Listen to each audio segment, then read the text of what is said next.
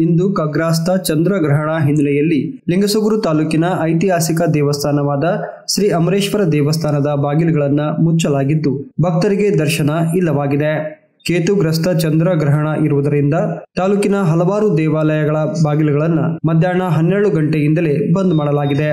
ಅದರಂತೆ ಐತಿಹಾಸಿಕ ಅಮರೇಶ್ವರ ದೇವಸ್ಥಾನದ ಬಾಗಿಲು ಕೂಡ ಬಂದ್ ಆಗಿದ್ದು ಸಂಜೆ ಆರು ಮೂವತ್ತೆಂಟರ ನಂತರ ಗ್ರಹಣ ಮುಗಿದ ಮೇಲೆ ದೇವಸ್ಥಾನವನ್ನ ಶುಚಿಗೊಳಿಸಿ ದೇವರಿಗೆ ಅಭಿಷೇಕ, ಅಲಂಕಾರ, ಮಹಾಮಂಗಳಾರತಿ ಮಾಡಿದ ನಂತರ ರಾತ್ರಿ ಏಳು ಗಂಟೆಯ ನಂತರವೇ ದೇವಸ್ಥಾನದ ಬಾಗಿಲು ಭಕ್ತರ ದರ್ಶನಕ್ಕೆ ತೆರೆಯಲಿದೆ ಎಂದು ದೇವಸ್ಥಾನದ ಮೂಲಗಳು ತಿಳಿಸಿವೆ.